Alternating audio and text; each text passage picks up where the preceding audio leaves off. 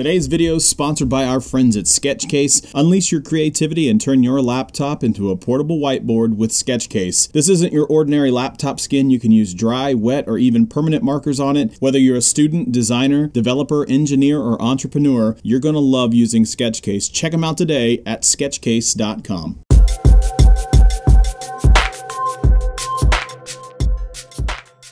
Hey, what's happening, everybody? It's Greg here with Technically Speaking, and this week we're going to do something a little bit different. Uh, one of the most successful videos we've put out on our channel is a review of Google Wi Fi. Now, if you look at the comments section, there's a ton of really great comments in there. Some of the explanations are a little bit hard to put concisely into text, so my hope is that this follow-up video might explain some things or encourage some of you that are still considering whether or not Google Wi-Fi is worth the investment to just go ahead and jump into it. All right, so let's start out with Mark's question where he basically wants to know if Google tracks you if you're using Google Wi-Fi. So if we look at the link that I have down in the description and I'll put it up on screen here too, I'm going to read directly from the support page here. Importantly, the Google Wi-Fi app and your Wi-Fi points do not track the websites you visit, or collect the content of any traffic on your network. However, your Wi Fi point does collect data such as Wi Fi channel, signal strength, and device types that are relevant to optimizing your Wi Fi performance. Additionally, once you have the Google Wi Fi app downloaded onto your phone, you can go into the privacy section and opt out of most, if not all, of these data collection points. So, next question comes from Guardian's Creed. Does it have any parental controls and will it let me monitor devices? Okay, there are some limited parental controls. So if you look at the Google Wi-Fi app, you actually have the ability to take other devices that are connected to Google Wi-Fi, group them together, and then control internet access to that group of devices. So the example that I'll use here and one of the examples that I used in the original review video is if you have kids and they've got, you know, an iPhone, an iPad, you can take those devices, group them together, and then control the internet access directly to that group of devices. So you can shut off the internet entirely uh, as a kind of signal to, hey, come downstairs because I need you, it's time to eat, or shut off the internet because it's time to go to bed. But that's about the extent of the controls that you have. What you cannot do is directly see which websites they're visiting or anything like that. Um, you can see the amount of traffic that is being used by individual devices. Now, I personally find this particularly useful uh, if my wife says, hey, the internet's running really slow, are you downloading something? I can basically look at Google Wi Fi's app and then figure out exactly which device is hogging up all the bandwidth. In most cases, it's something involving Netflix. John wants to know whether or not anyone has tried these outside of the US in an unsupported country and whether or not they work. Broadly speaking, yes, they should work outside of the US. So there's some caveats to that. Um, they are built with the US market in mind, so they still use kind of the standard, terribly designed US power plug. Uh, but as long as you have some type of a converter and you match voltages and stuff like that, there's really no technical reason why they shouldn't work uh, in a country outside of the United States. Mr. Donkey Boy says, My house is just around 1600 square feet, so is it worth it to buy just one of these, or is it better for big houses? That way you can use all three of them. Okay, this is a great example of a question that's really difficult to answer directly uh, because it has a bunch of variables in it. So if you look at Google's website, they say that each individual puck averages about 1500 square feet worth of coverage. Now, that means that it's also assuming that you have kind of a standard timber construction in your house. So think basic drywall, not terribly thick, uh, two by fours, uh, and maybe some insulation, maybe, uh, but that's it. So if you have anything more than that, you're probably going to get less than 1500 square feet. So the general rule of thumb is density is the enemy of Wi-Fi signal. So if you have concrete walls, brick masonry, anything really, really thick, really, really dense, that's going to block the majority of the Wi-Fi signal from penetrating through that wall, and you're going to get less than 1500 square foot worth of coverage out of that individual puck.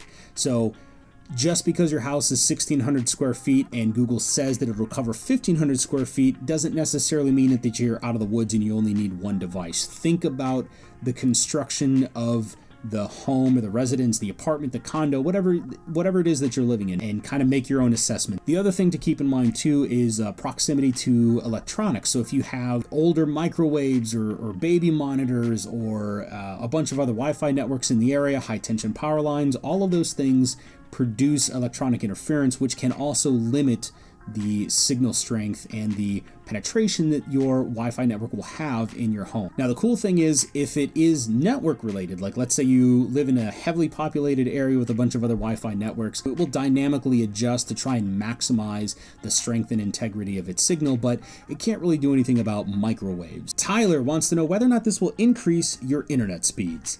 Okay, broadly speaking, maybe. Uh, I'm going to start by referring you to the previous answer because, for the most part, most slow internet speeds are a product of signal interference or poor Wi Fi coverage or something along those lines. So, see the previous answer first of all.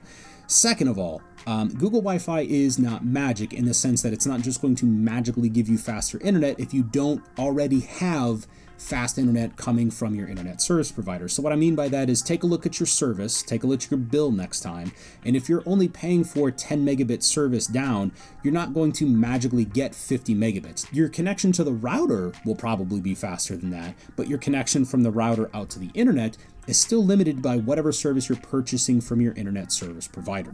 Okay, there's a ton of questions about gaming, um, whether or not you can game on it, uh, whether or not there's lag, uh, the the speeds that you'll get out of this system once you have it fully set up in mesh network mode. Short version, yes, you can game on it, uh, but if lag is that much of a concern to you, you probably want to be hardwired anyway.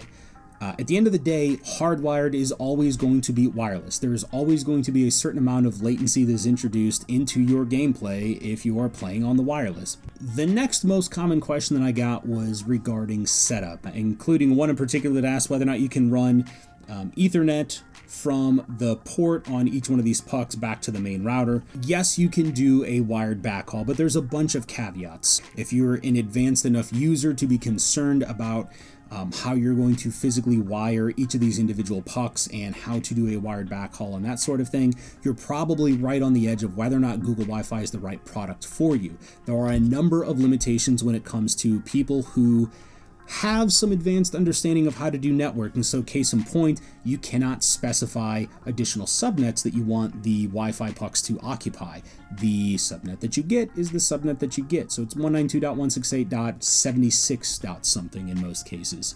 Uh, and you can't change that. Similarly, uh, there are some significant limitations that you have in terms of how you can have these things configured. So I, rather than answer the question directly, I'm going to actually point a link back to Google's support site. There are several supported network setups, um, some of them which do have wired backhaul, some of them that do not. So what you're going to want to do is check the documentation for more. That will be your best friend. Another super duper common question. I have X service. Will Google Wi-Fi work with my internet service provider? Again, for the most part, unless you have a really weird and unique setup, the answer is yes. Uh, Google Wi-Fi's uh, internet service provider agnostic. As long as you get Cat5 out of that, you can plug it into Google Wi-Fi and you should be good to go. Similarly, Ricky wants to know whether or not Google Wi-Fi produces its own Wi-Fi or act as another router. I think, if I understand your question correctly, the answer is uh, yes to both, I guess. Uh, so Google Wi-Fi does produce its own wireless signal. Um, in a lot of cases, that will maybe interfere with or overlap on top of an existing wireless signal that you have. So to break it down, when you go out to your internet service provider and you purchase service through them, they will provide you with a device, a residential gateway of some variety that usually acts as, among other things, a wireless gateway. So if you install Google Wi-Fi alongside of your existing router, what you end up with is a Google Wi-Fi network and then your old ISP wireless network that's hanging out there. A lot of times that can cause interference. So uh, although Google Wi-Fi does provide its own wireless signal, best practice is to go ahead and disable the wireless that's on your router just to kind of make things nice and clean. Kim wants to know if you have to install an app to be able to make the mesh network work. Initially, yes. So the, the way that you create the mesh network, um, I referred to this a little bit in the original video, which I will link up here. Um, the way that you initially set up the network is via your smartphone. So you do have to have an app. Um, the app does exist on iOS and Android, so even if you don't have an Android phone, you can still use Google Wi Fi, which is great news. It requires you to have a smartphone because you have to scan the barcodes on the bottom of each individual puck. Once you have the initial setup done and you have the mesh built, you don't need the app. Now, I would definitely recommend that you keep the app on your phone because that is the management interface that you will use to do all things Google Wi Fi re- related. So if you need to restart the devices, or if you need to prioritize devices, or referring to the original question uh, that started this whole video off, the Wi Fi app is also how you will. Uh, pause internet access or shut off internet access for your group of devices that you have set up. So you don't need it for the mesh. You can successfully uninstall it, but you're also going to limit how much management you can do. Okay, last question. Ben wants to know how much this cost per month. Um, this was kind of a surprisingly common sentiment where people weren't quite understanding what service you get since Google's name was attached to it. They didn't know whether or not you were getting internet via Google Wi Fi. Um, so that's where the question about monthly prices came in, I think. To be clear, there's no monthly fee attached to this. There's no daily, monthly, yearly, decadely, whatever. There's no fee attached to this. Once you buy the device, you physically have the device. You still have to have an internet service provider to get out to the internet. What this does only is provide you a wireless access point so that you can connect your laptop or phone or what have you. You can connect to a wireless network that will then take you onto the internet, provided that you already have internet set up. So there's no fee involved in this at all.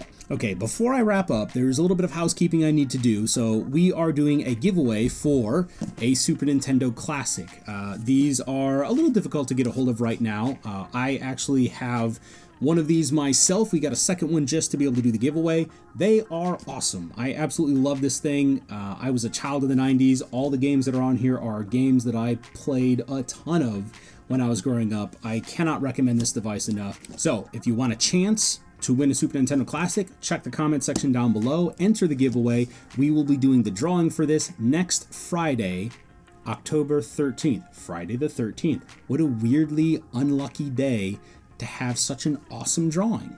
So, again, enter the contest if you want a chance to win a Super Nintendo Classic. And if you want to know who wins live, check out our live show we do every single Friday, 7:30 p.m. Eastern. That's it for this week. Thank you all for stopping by. Please don't forget to like, share, and subscribe, and I will catch you guys next time.